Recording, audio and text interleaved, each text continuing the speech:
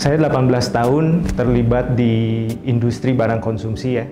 Uh, dari mulai financial planning, finance, supply chain dan juga marketing gitu ya.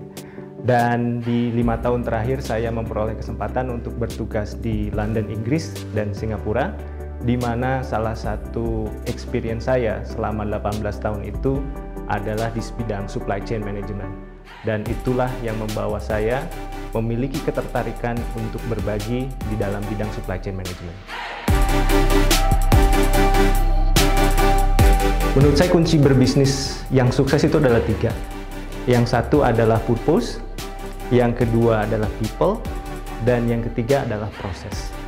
Purpose adalah sesuatu yang personal ya yang kita harus temukan, dan people juga akan kita kembangkan seiring dengan organisasi berkembang.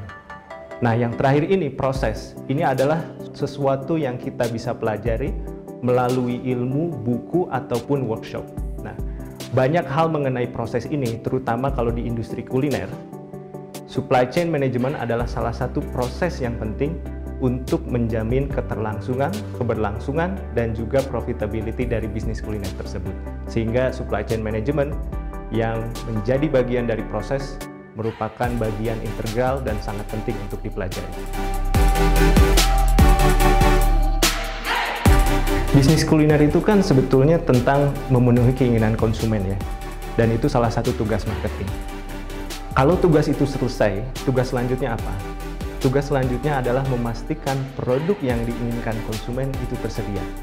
Nah, definisi SCM dalam hal itu apa? Artinya, SCM harus memastikan ketersediaan produk yang diinginkan konsumen sampai uh, ke tangan konsumen dengan kualitas yang baik. Artinya mulai dari perencanaan, pengadaan, produksi, dan akhirnya sampai ke tangan konsumen, itulah empat hal yang menjadi bagian terintegrasi dari supply chain management.